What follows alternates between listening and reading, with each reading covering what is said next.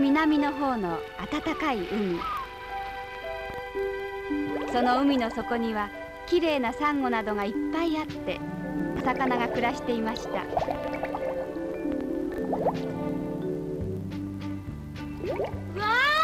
朝だ。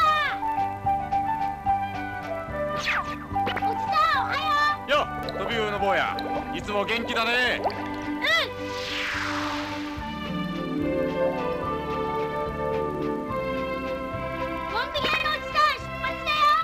やあ坊やか。ありがとうありがとう。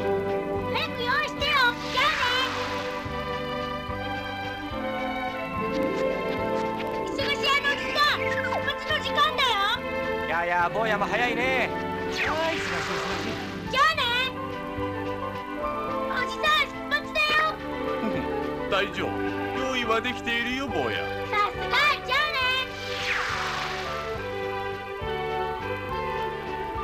気のいい飛び魚の坊やですね。この坊やに大変なことが起きてしまいます。今日はそのお話飛び魚の坊やは病気です。というお話をしましょう。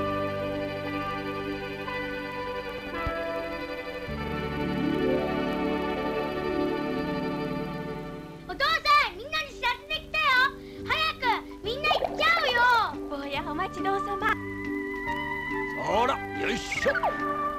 坊やしっかり捕まるのよ。うん出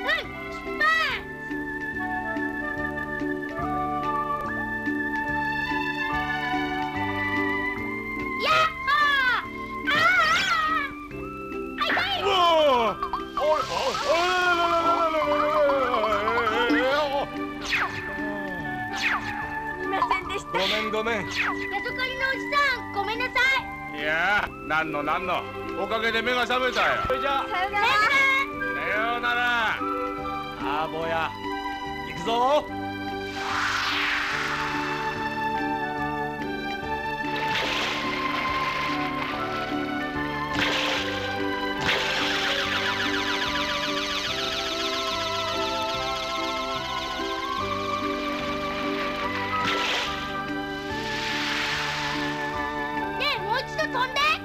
帰ってきてからまたな。うん。きっとだよ。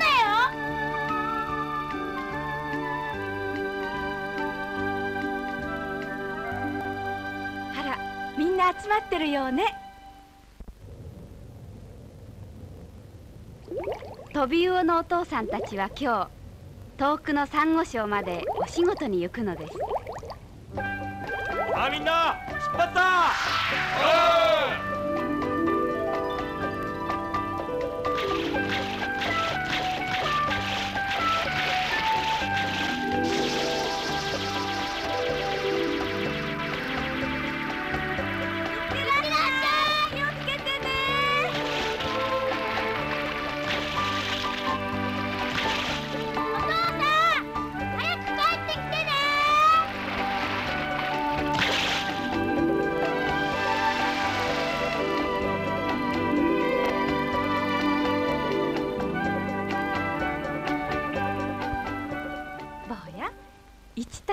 たす1は？えー、っと2遊ぼう遊ぼう。遊ぼう。今ダメお勉強。ちょっと待っててね。はーい。じゃあこれは1たす4えー、っとえー、っとえー、っと。6うわ6だってさ。そんなのできないの。バカみたい。なおりん。だってすぐ分かっちゃうもんな。簡単簡単さあ行こう行こう。うん行こうこんなバカかまっていられねえや明日の朝までゆっくりやってろよ。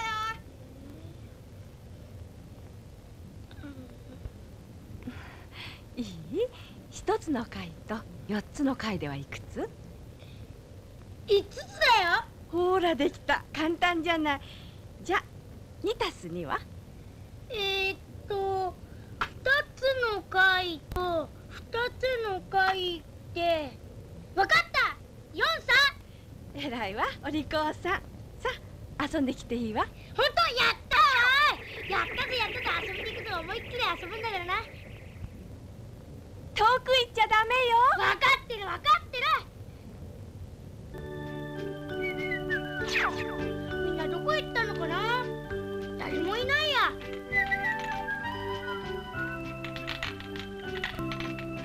えねえ一緒に遊ぼ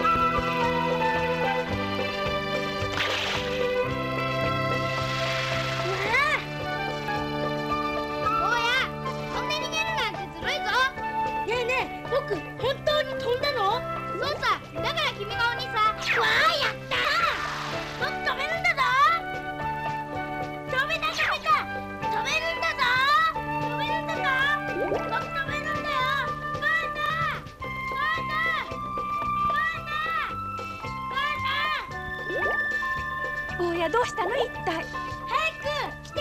お母さん僕止めたよ。止めた？ねえねえいいから早く来てみて。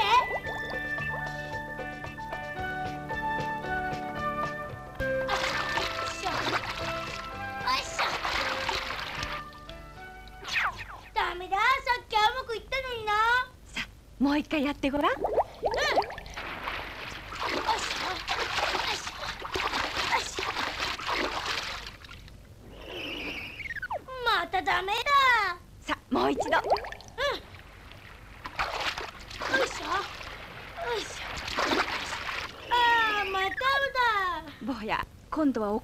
抜いて前に出るつもりでやるのよ。いい？いや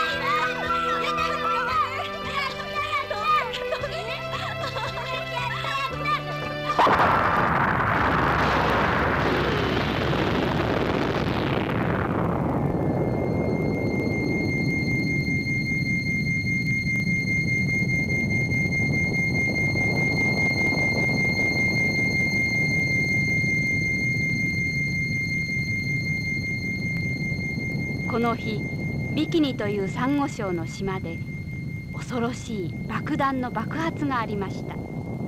それはアメリカがやった水爆の実験だったのです。今から約30年ほど前昭和29年の3月1日の出来事です。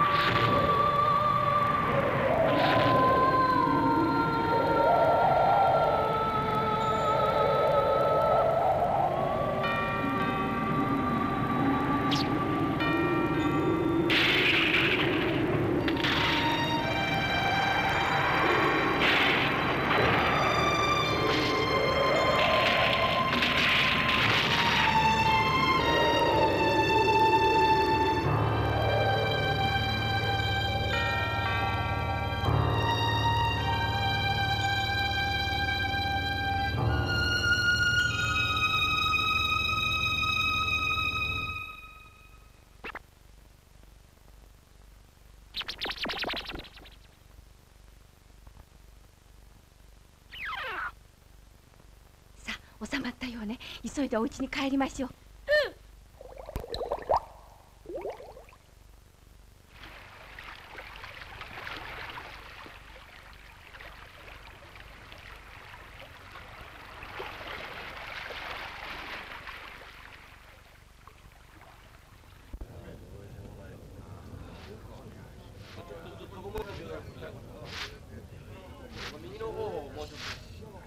ああひどいなみんな埋まっちゃった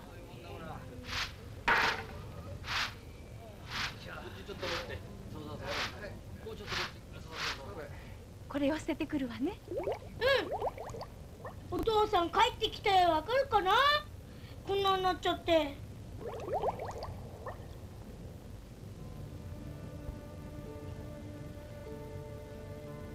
うわあかわいそう。ねえ女神様お願いだから。お父さんが帰ってきたら僕んち教えてあげてね。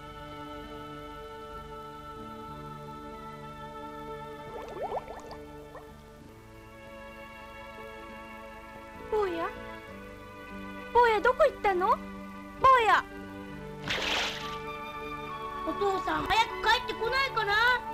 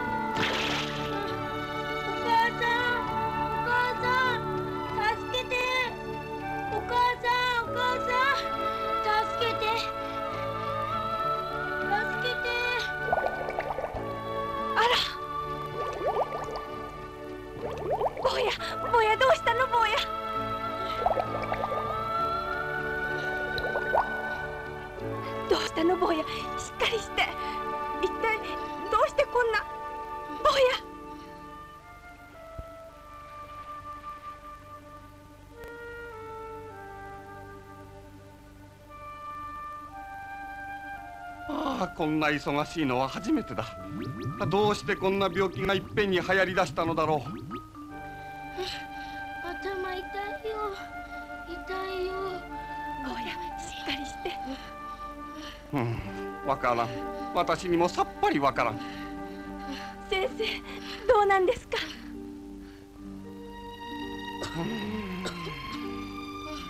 この夜方々のお魚が坊やと同じように高い熱が出て頭がとても痛い病気にかかってしまいました。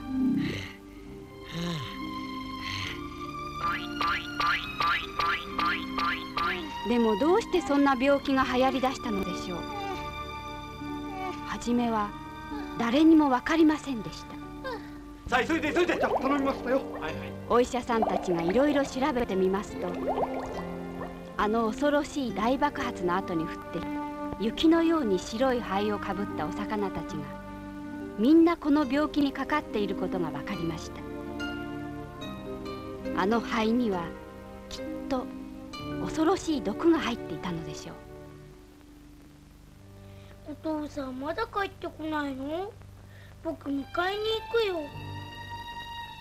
きっと帰ってきますよ。それまで元気になってね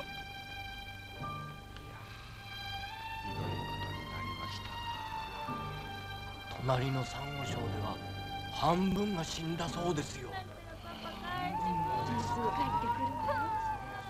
死んだお魚は幾日も幾日も海の上を流れて行きました。坊やのお父さんも一緒に出かけた飛び魚のおじさんたちも何日経っても帰ってはきませんでした。私の坊やはどうしてこんな病気になったんでしょう。平和だった私たちの海にどうしてどうしてこんな恐ろしいことが起きるのかしら。坊やが病気だというのにお父さんはどこへどこへ行ったんでしょうね。お母さん泣かないで。ぼ僕ね。よくなったらお父さんを探しに行くよ。だって僕飛べるんだもん。お父さんに見てもらうんだ。僕飛べるんだもん。